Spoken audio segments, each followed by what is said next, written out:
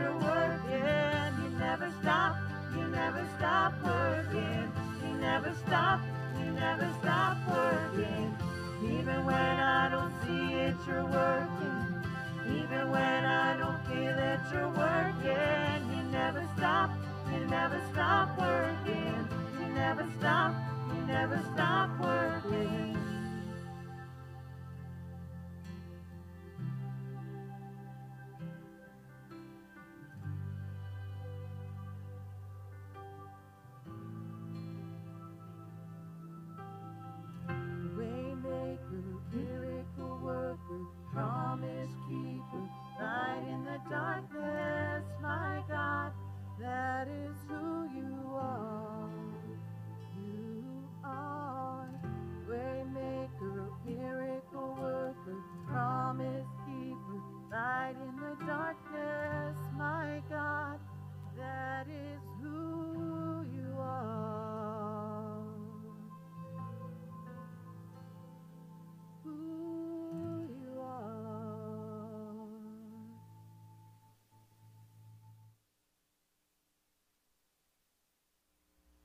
Morning, everybody, once again, and welcome to Calvary. Uh, I was told that uh, the mic wasn't on the last time for those of you watching at home, so once again, a welcome to those of you who are there. Don't know if we have any folks in the parking lot this morning, but if you are, feel free to sound off. Let's hear some horns. Any horns out there today? Hey, there's one. All right. Either that or that's the burglar alarm at the swim club. One of the two, I don't know. But in any case, uh, it's great to have you here, whether you're online, whether you're in the parking lot, whether you're in the sanctuary. And that's where I want to start this morning. As you know, the governor has come down with some uh, stronger uh, restrictions in some places. He did exempt houses of worship uh, from the 25 or under gathering rule. But know that it's a fluid situation. And as we've said the whole way along, you have a uh, coronavirus COVID 19 task force here at the church that is working every single week to uh, you know, assess where we are in terms of the local and the state guidelines, making sure that everything is done in a safe and proper manner so that we can continue to have worship here. And know that it's flexible. Uh, if we have to uh, retrograde a little bit and maybe take a step backwards, not saying we're going to, but we're prepared to move in any direction possible, and we will certainly keep you posted about that. So we want your uh, worship with us here at Calvary to be among all things uh, meaningful but safe as well. So know that we continue to work about that throughout the, uh, the entire week. Calvary's Christmas Market coming up this uh, Friday. Um, and it's going to be, where is, there's Evelyn. So, Evelyn, what do you need from us? 10 a.m. to 6 p.m. this Friday. It will be all outside with the exception of the restrooms, as Evelyn pointed out, and she does need some warm bodies and volunteers to help out. More baked goods? Wonderful. Thank you, Evelyn. And for those of you at home, online, in the parking lot, um, basically what she said was uh, the 10 to 6 thing, and you really just need to come, okay? Uh, she needs uh, uh, donations of baked goods. If you'd like a pie, let Evelyn know. She can do that. And then the dinner uh, begins at 3.30 as well with the crab cakes. And you know how dinners go around here, so um, make sure you come, y'all. Uh, any other announcements this morning that we need to make before we continue on? Uh, just a reminder that uh, we uh, are welcoming our kids who are watching online today, and we are going to have a special word for the day. And the word for the day is talent. And every time you hear the word talent mentioned during the service, and you kids here in the sanctuary can do it too, it's two snaps. Okay, so when I say talent, you do two snaps. And uh, that's how we'll do it today. Um, and, and by the way, there will be no singing of the kids thing. Last, last week I got a little carried away and I got yelled at for making you sing. So uh, we're not supposed to sing. So we're not going to do that. Um, the Divers will be back next week. We hope that they are uh, praying that they are having a wonderful vacation. We've heard nothing from them, which seems to indicate that perhaps they are and they're tuned out. And uh, boy, we just want them to come back refreshed, uh, feeling good uh, about where things are, and know that we haven't wrecked the place while they were gone. Uh, to that end, I want to welcome uh, our assistant. If you haven't met uh, Tom Smoot yet, Tom is uh, going to be here, and he's taking more of an active role as we get going here. Uh, he doesn't know it yet, but he'll be uh, doing the sermon next week. Um, no, okay, well, we'll wing it. No, he doesn't know that. But in any case, and Pastor Laura Cinch, who's been here before with us today, is here, and she'll be delivering the message today. So we're very happy about that. Um, so I think that's just about it. Uh, in, in, terms, I know we do God spotting around here too, and I just uh, wanted to pass on a personal one uh, that was somewhat meaningful to this week. we got a chance the other day to steal down to Ocean City um, for a couple of days on an empty beach, uh, properly social distanced.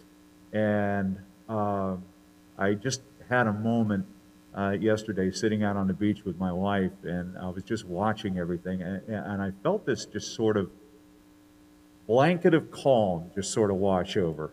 And with everything that's been going on lately with COVID, with the news of the elections, with all of the strife and the stress and the tension and everything that's been going on, um, it was uh, really a good awakening moment. Now, you guys can find those moments wherever you want, however you want. Um, I encourage you to seek them out because they're just wonderful moments where you look back and you take in creation and you understand that God is in control more than ever and that, uh, you know, He's going to see us through. So, with that said, uh, we're going to uh, go ahead and start our worship this morning. Once again, Beth and Becky are leading us here, and uh, we're going to do a song called I Will Follow. Oh, I'm sorry, Pastor Cinch. Please. I just wanted to give one brief announcement. Um, I am the campus pastor uh, in the Baltimore area, so I serve the campuses of Towson, UMBC, and support our ministry at Morgan State. Um, and I just wanted to say thank you to the people of Calvary. It is Synod congregations um, that help make the ministry that I get uh, to do with students possible. Um, our ministry is all online. We are not able to gather like you are. All three of the, the campuses that I serve are closed, um, and we are encouraged not to be in person, but the church still finds ways to show up, as we know. So I have had the privilege of gathering with Zoom, so very, very much Zoom, uh, with my students. But even in the midst of their Zoom classes, they still come because there's something about being in a community where you are known and loved, a place where we also do God spotting. We share our God moments every week. We pray for each other. We talk about things that matter. We laugh a lot because we all need that release and that connection with our neighbors. Um, and we've found new students looking for community that have been integrated into uh, our community on all of our campuses uh, this semester.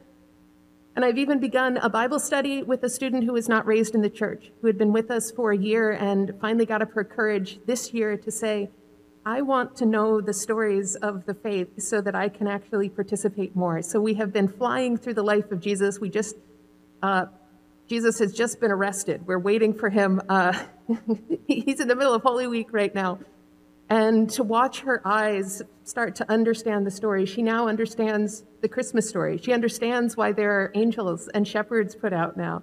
She's starting to understand about who Jesus was and the miracles he did and starting to draw connections between those. And it has been amazing. So God is continuing to show up just in new and creative ways. Um, I also want to thank um, Calvary because you have given us Tori Wright, who is a part of our ministry at Towson. So thank you for sharing her with us. Um, and Tom Smoot was also, he was our student leader last year at Towson. Um, so it is a great joy to get to uh, be with him up here leading worship um, and to see what God is continuing to do through him. So thank you for continuing to uh, support the work that we do together.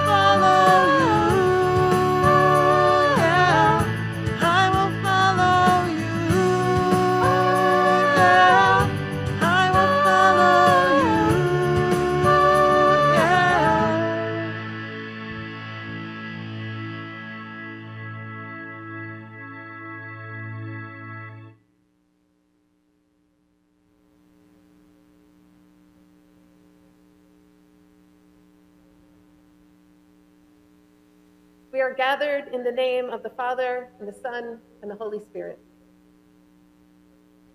When we remember all the mistakes we have made, all the careless words we have spoken, all the contempt we have given to those around us, we have trouble looking God in the eye. But God gazes at us with mercy and love, waiting to forgive us. Join me as we pray together. We confess to you, Creator of the universe our struggles to be faithful disciples. Entrusted with all your gifts, we become fearful of using them and miss the chance to be a blessing to others. Invited to dance in the light of your love, we stand against the wall and hesitate to join your movement. Called to be empty for those who struggle, we fill ourselves with scorn for the poor choices they make of have mercy, O God. Have mercy on us. Open our eyes to your kingdom and we might discover that your day of hope and grace has already come in Jesus Christ, the Lord Savior.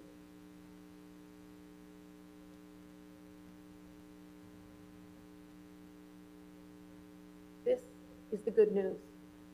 God intends for us to find life, to embrace hope, to receive forgiveness through Jesus Christ, our servant. God's word for us is not rejection, but the fullness of grace and hope.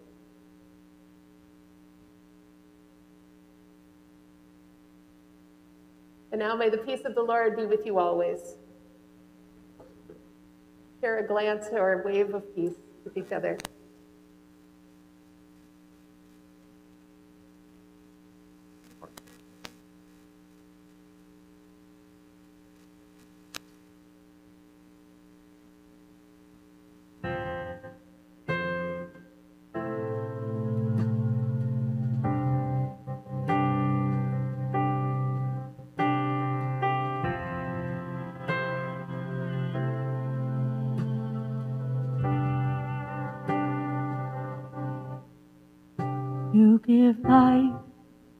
You are love, you bring light to the darkness, you give hope.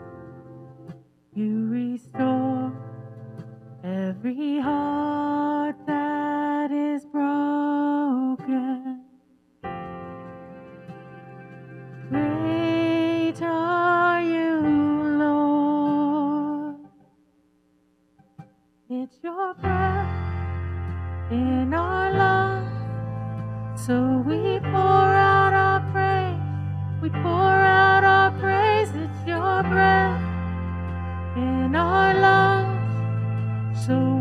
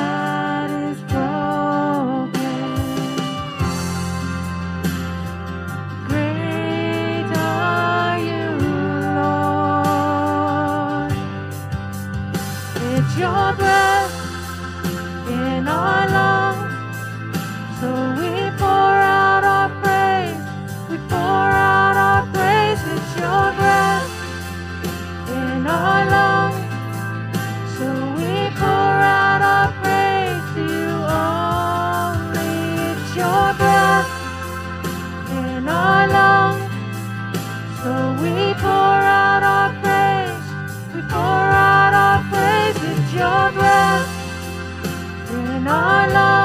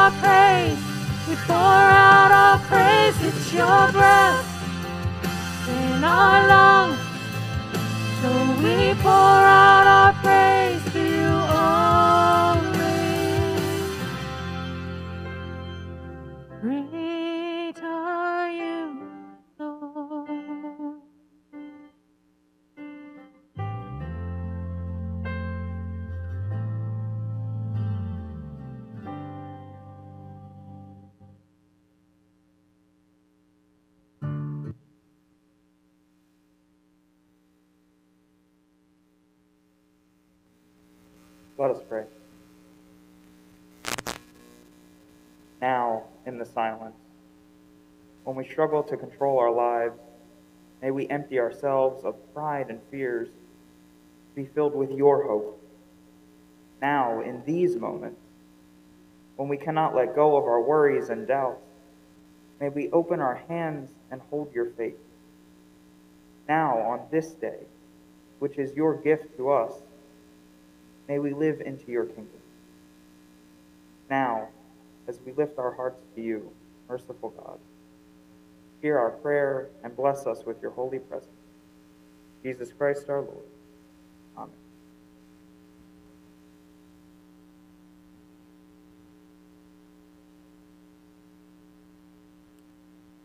First reading is from 1 Thessalonians chapter 5. now, concerning the times and the seasons, brothers and sisters, you do not need to have anything written to you. For you yourselves know very well that the day of the Lord will come like a thief in the night. When they say, There is peace and security, then sudden destruction will come upon them, as labor pains come upon a pregnant woman, and there will be no escape. But you, beloved, are not in darkness, for that day to surprise you like a thief. For you are all children of the light and children of the day. We are not of the night or of darkness. So then let us not fall asleep as others do, but let us keep awake and be sober. For those who sleep, sleep at night, and those who are drunk, get drunk at night. But since we belong to the day, let us be sober, and put on the breastplate of faith and love, and for a helmet, the hope of salvation. For God has destined us not for wrath, but for obtaining salvation through our Lord Jesus Christ, who died for us, so that whether we are awake or asleep, we may live with him. Therefore, encourage one another and build up each other, as indeed you are doing. The word of the Lord. Thanks be to God.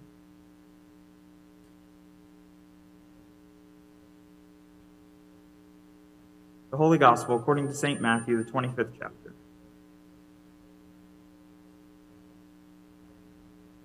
For it is this, Jesus said to, this, to the disciples, For it is as if a man going on a journey summoned his slaves and entrusted his property to them. To one he gave five talents,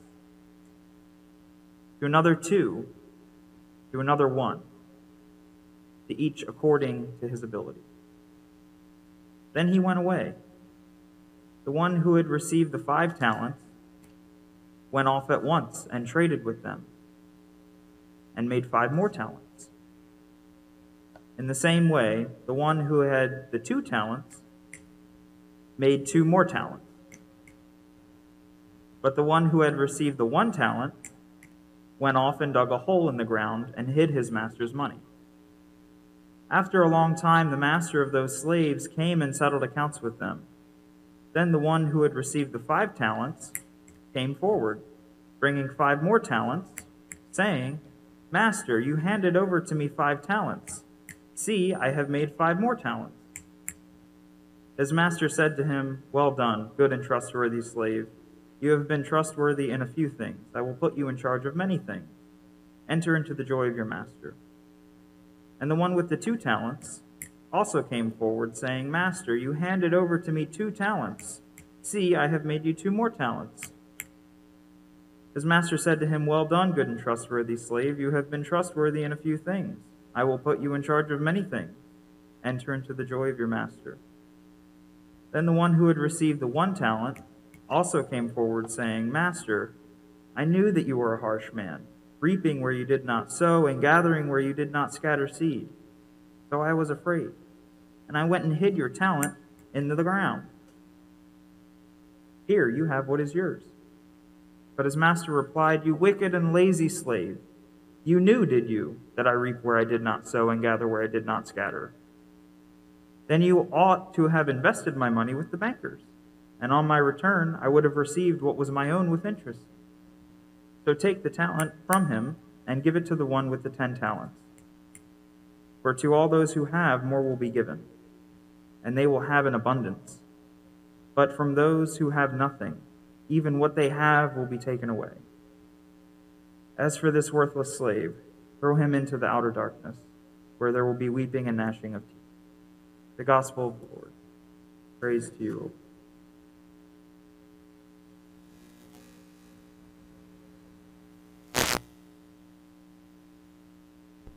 Well, you are very good snappers. But uh, I hate to disappoint you, but I am indeed preaching on the other lesson. So um, your talent snapping fingers can get a rest now. Stay awake. Keep vigilant. That's what Paul tells us in the letter to the Thessalonians.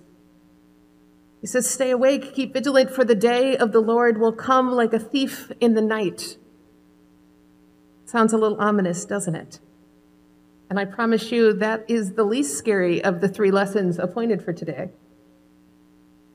November is the month in the church where we read about the end of days. Not really helpful in the midst of our country right now, but that's how the church set it up. So this morning we hear the Apostle Paul telling us, hey, folks, don't panic. But since Jesus is coming when no one expects, just stay awake and stay vigilant, and you'll be fine. And I don't know if it's just me being tired this week, but that sounds exhausting. Especially when right now we're also being called to stay extra vigilant about our health and the health of those whom we come in contact with. Staying vigilant sounds exhausting, as I feel like we've been there for months. And staying vigilant to me sounds like we need to keep one eye open at all times and be slightly anxious and be ready to burst into action at any moment. We don't always have the energy for that. But I don't think this is what Paul is saying, thanks be to God. He has something completely different in mind. He means something a little more like live ready. Now, back in middle school, um, I got home from school before my mom got home from work. And when I got home, there would always be waiting on the kitchen counter a list for me. It was a list of chores that my mom expected me to do. But like most middle schoolers, I would look at the list and then I would grab a snack and then I would watch some TV and then I would find every other possible way to waste time, all until I heard the garage door open. And then my heart would race and I would jump up to begin my chores so that I would look busy when mom came home. Because I wanted to wait till the very last minute to do my chores. I always lived in terror of hearing that garage door open. I lived in terror rather than simply being vigilant by being ready, by getting the stuff done so that I could just relax and enjoy the day. This is kind of what Paul is telling us. He's saying, Church, don't live in fear of the garage door of Jesus returning. Don't fear the Lord coming like a thief in the night. Just do the things now while you have a chance. Paul tells his church, a church that was probably struggling, Oh, dear church, he says, hear this happy truth. You are children of the light. You are ones that know what's going to happen. You are people who have known the hope that Jesus brings. You are ones who know that you are loved beyond your mistakes by your God. You are ones who have known the stories of Jesus, how he fed the hungry and welcomed the outcast and healed the suffering. You are ones who have a peek at the end of the story where Jesus defeats death. So you're children of light. You get how to live, so you have the chance to live ready and to live vigilant and to be able to greet Jesus with utter joy when he comes. So live ready, he says. Feed your neighbors and those who are vulnerable. Remind your neighbors that God is already holding them up and holding up this world even when it doesn't feel like it. Live ready by forgiving others and by being gentle to them. Live ready by bringing healing to relationships, by praying desperately for people and communities, by speaking against the powers of evil, and giving away more than makes sense so that everyone may have enough. You are children of light, Paul says. So live like that child of light that God has made you to be. Do it now while you have a chance, not so that God will love you more, because that's simply not possible. Just like my mom didn't love me more when I actually did my chores on time, those very few times when that happened.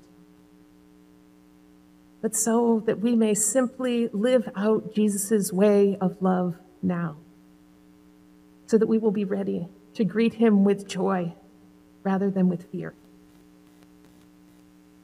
But it's not going to be easy, Paul says. You're going to need to do more than really try hard to stay awake and vigilant. Because that's a recipe for failure. As anyone who has tried to stay awake reading a college textbook with too little sleep knows. You're going to need help. And Paul says it's a battle out there trying to stay focused on living out the love and hope of Jesus. But put on your armor. Paul says that besides our masks, we should clothe ourselves in the breastplate of faith and love. Cover your heart with the gift of my love. The gift of God's love, Paul says, so you will always be reminded of your beginning and your end and your ultimate home, which is the love of God. And the, when the world tempts you to anger and to hatred and to jealousy, return to that breastplate of God's love. Let your trust in Jesus and in his vision of the future protect you when you look into the darkness of the world and get discouraged. And let your trust in Jesus' way of love guard your heart when you're tempted to find security in the things of this world. And once you got that breastplate in place, you're going to need something for your head, Paul says. So put on the helmet of hope. Arm yourself with the hope of God's saving power to protect your mind and your imagination against feeling that nothing really matters at all in the world.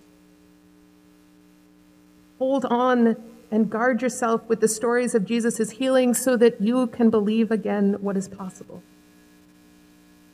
Arm your mind with the stories that you have known in your own life, all of those God sightings, where life has come out of death and where hope has come out of despair and where peace has swept over you like a gift. And let the songs of joy that God brings or that you hear from our music team rattle around in your head to protect you from the noisy world that tries to distract us. Put on your armor, Paul says and then, when you are rooted in Jesus again, when you are all suited up, then go back into the world and keep up the work that you were created to do. Caring for the poor, visiting those in prison, welcoming those who are lonely and ignored, and speaking the love of God for all people.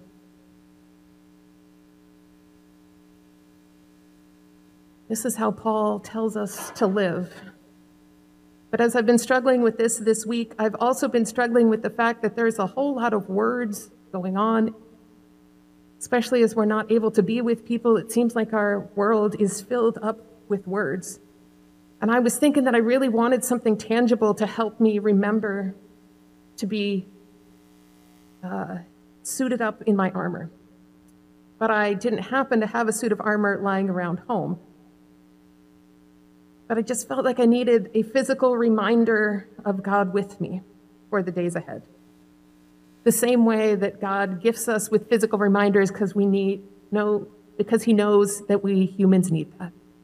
It's why we have the physical gift of Holy Communion, even if we may be apart from it and longing for it now. It's why we have the waters of baptism that we can dip our fingers into or that we can remember when we draw water from the faucet because God knows sometimes we need some physical things to remind us of the promises and the goodness of God. So if you are like me and don't happen to have a suit of armor lying around your home, perhaps there are other signs this week that might be helpful for you. As I was thinking over this, I was realizing two habits that I have that I barely even notice. that seem to help me connect to this passage this week. When I find that my heart is overwhelmed with worry, I kind of unconsciously just put my hand over my heart. It's a way for me to ground myself and center myself again. It reminds me that I need to take some breaths. And I have noticed that every time I do it, after those deep breaths, putting my hand on my heart tends to turn me to prayer. And it helps me to refocus again on the task before me. So maybe this week, this might be a gesture for you, might be a symbol for you. Maybe it's something you might do as you begin your day as a reminder of that breastplate of faith and love that God offers us. That breastplate that can keep our hearts from being overwhelmed by worry or by anger. And I also noticed this week that when I am despairing, and that usually happens when I have messed up at something and I am embarrassed about it. I find that I have this tendency to make the sign of the cross on my forehead so that I can remember again that I am called a beloved child of God, even if I don't feel like it at all. And it seemed like this might be a little bit like that helmet of hope that God calls that Paul calls us to put on. That armor that can guard our minds against despair despair with ourselves, and despair with the world.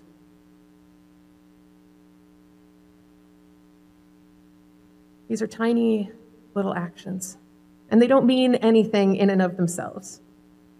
But perhaps for those of us who need something physical to hold on to as a reminder of God's love this week, they may be gifts to us and symbols to us.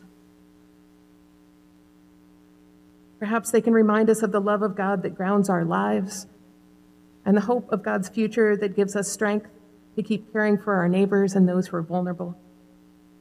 Perhaps doing these small things will help us remember our names children of light and servants of God. Maybe they will help us, maybe these actions will help us be vigilant and faithful in a world that seems out of control. And Paul reminds us this armor that we put on, however, we're going to do that this week, our armor, just like our masks, are not just to protect us. Our armor is so that we are strengthened so that we can support others. Paul says, therefore, encourage one another and build each other up, as indeed you are doing. Paul says, when our hope and faith and love are renewed, then we get to steady the next person. Now, some of you may have seen me hobbling around. For the last five weeks, I have been wearing this boot for a broken foot. And during that time, I have become very well aware that I can't do everything by myself, especially stairs. and I've also realized that I often need somebody beside me because I'm wobbly. And I need someone to steady me and help me with some things. And frankly, people of God, I don't think it's just me. I think all of us are a little wobbly after this year. So we put on our armor to strengthen ourselves for the world outside, but also so that we can steady our wobbly neighbors. The people of God, put on your armor. Be clothed in the goodness of God, in the hope of God, in the love of God this week. Remind yourself of that when looking into the world is scary and overwhelming. And when you are strengthened, go out to strengthen your neighbor. Remind them of the hope of God and the love of God. And remind them of the joyful race that we are running remind each other that our work for the Lord matters, that love and forgiveness and caring for neighbors and making peace matters. Encourage your neighbors this week in love and hold them up when they are wobbly and pray that they might hold you up when you are wobbly as well, so that we all may live together as children of light and servants of God for the sake of the world. Amen.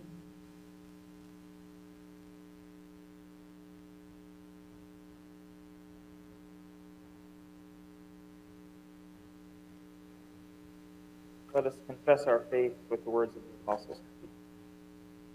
I believe in God, Father, creator. Longing for Christ's reign to come among us, we pray for the outpouring of God's power on the church, the world, and all those who are in need.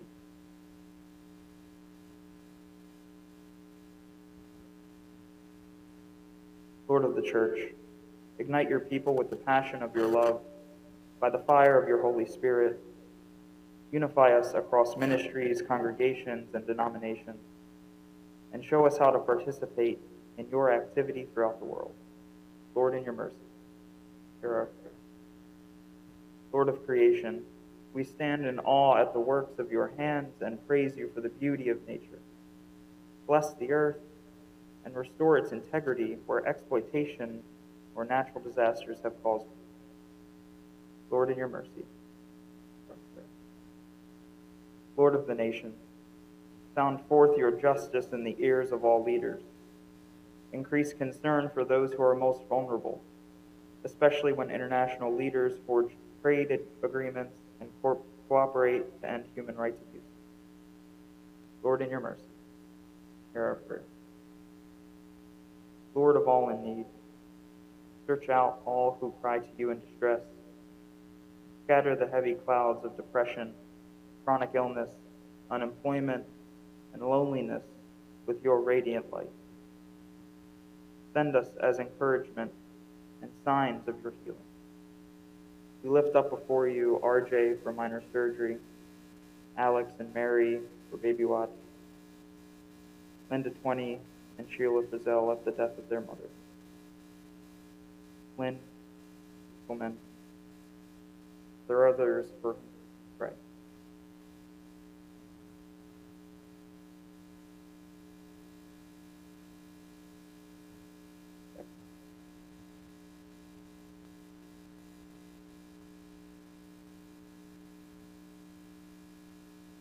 Lord, in your mercy, hear our Lord of the stranger, stir up holy restlessness in us, that we will extend love to those at the margins. Release our desire for control and open us to learn from the perspectives of others. Let us strive for reconciliation after the bruising election campaign. Lord, in your mercy, Lord of all disciples, you have entrusted us with riches and talents. Inspire us to use them for your glory. May all that we are and all that we have become tools to make your kingdom grow. This week, we especially ask you to bless our members, Joseph, Marlene, Rhiannon, and Justice, Justin Everett, John and Doris Exter, Harry and Leslie Faith, David, Julie, Jana, and Elise Fenstermacher. Lord, in your mercy, hear our prayer. Lord of the living and the dead, we give you thanks for all the saints at rest from their labors. Rouse us to live by their example, that saints yet to come may also know your love. Lord, in your mercy, hear our prayer. Receive our prayers in the name of Jesus Christ, our Savior, until that day when you gather all creation around your throne, where you will reign forever and ever. Amen.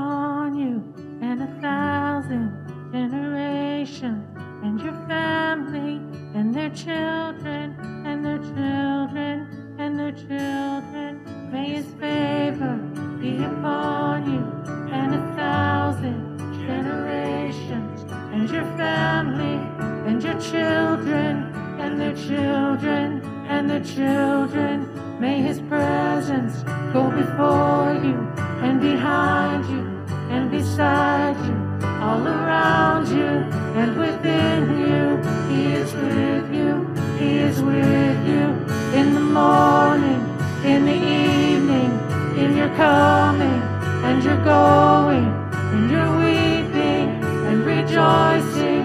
He is for you, He is for you, He is for you, He is for you, He is for you, He is for you, He is for you, He is for you, He is for you.